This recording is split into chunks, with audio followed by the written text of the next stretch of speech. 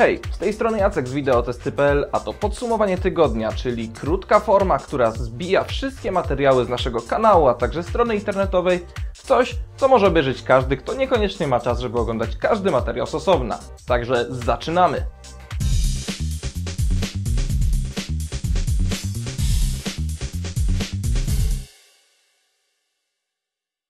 Zaczynamy jedenasty odcinek od prezentacji bezprzewodowego systemu Heos Multiroom stworzonego przez Denona.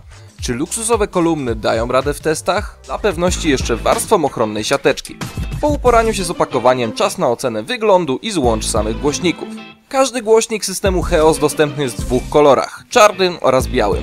Poszczególne produkty z serii różnią się od siebie diametralnie w kwestii designu. Coraz więcej osób decyduje się na słuchawki bezprzewodowe. Arctic P614BT to bezprzewodowy zestaw Bluetooth w sensownej cenie. Czy warto? Głośniki, rozsuwany pałąk, regulacja słuchawek, wytrzymały pałąk i długość e, grania tych słuchawek do 30 godzin. Faktycznie w testach 20 parę godzin spokojnie grały na ustawieniach 1 trzeciej głośności do połowy głośności. Jeżeli chodzi o gry, to pojawiły się dwa materiały. Jeden to gameplay z Evolve, strzelanki, w której wcielamy się w postacie z obydwu stron barykady. Drugi natomiast to recenzja Altos Adventure, czyli przyjemny mobilny runner na platformę iOS. którą Evolve przegrywały. Być może spowodowane to było małym zgraniem pozostałych członków drużyny. Każdy robił co chciał, przez co rozgrywka była niezwykle chaotyczna. Na szczęście twórcy zaimplementowali komendy głosowe. Diesel posiada taką właściwość, że jeżeli będziemy robić triki i wylądujemy, wtedy dodatkowo mamy większe przyspieszenie, takiego boosta, który to powoduje, że szybciej poruszamy się na nartach bądź na desce snowboardowej. Niestety nie wiem na czym bohaterka jedzie, ale wydaje mi się, że to jest właśnie deska snowboardowa.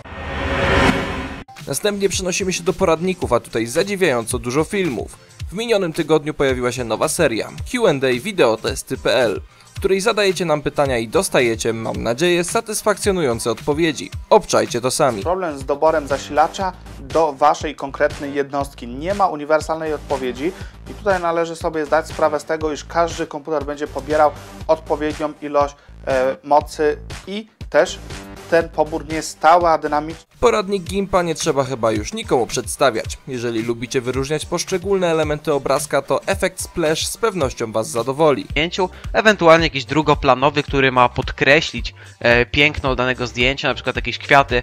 Często widzę zdjęcia e, jakichś fotografów, które są potem przerabiane. Mamy parę młodą, a pod nią e, jakieś bukiety kwiatów. Następnie czas rozwiązać dylemat każdego gracza. Czy warto dopłacić do monitora, który szczyci się jako sprzęt do gier? Znacznie więcej niż zwykłe monitory. I na koniec sobie odpowiemy na pytanie, czy naprawdę warto. A raczej myślę, że sami odpowiecie sobie na to pytanie. Ja tylko przedstawię Wam zalety i wady obu typów tych monitorów. Zapraszam do oglądania. Ostatnim poradnikowym materiałem są nowe trzy sposoby na. Tym razem Mateusz pokaże Wam, jakich darmowych programów używać do obróbki zdjęć na Waszym smartfonie. to jej podejście do użytkownika jest zgoła inne.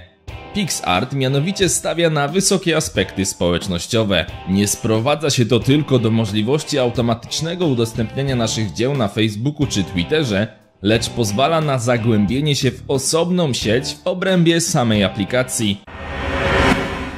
Na sam koniec dzisiejszego odcinka przedstawiam Wam następne 50. Video News, a w nim m.in. nowa postać w Tekken 7, ciekawe nowinki ze świata mobilnego i zapowiedź nowego Galaxy S6.